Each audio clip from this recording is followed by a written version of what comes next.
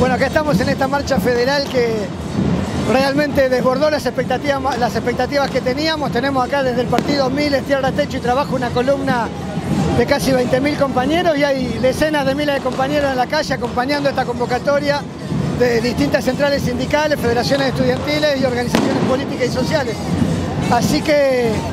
con mucha satisfacción de poder evidenciar y poner en escena lo que es el descontento popular que estos hombres que están hoy en el gobierno no pueden ver o no quieren ver, este, y en la certeza de que con esta unidad de acción que se da en la calle hoy, vamos a poder amasar una unidad política aún más amplia a la que ya estamos construyendo desde Miles, para poder ofrecer una alternativa política que, que cambie la naturaleza de este gobierno.